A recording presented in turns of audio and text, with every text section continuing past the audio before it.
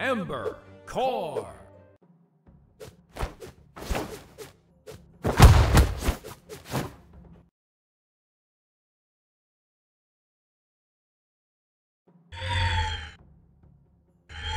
Three, two, one, brawl!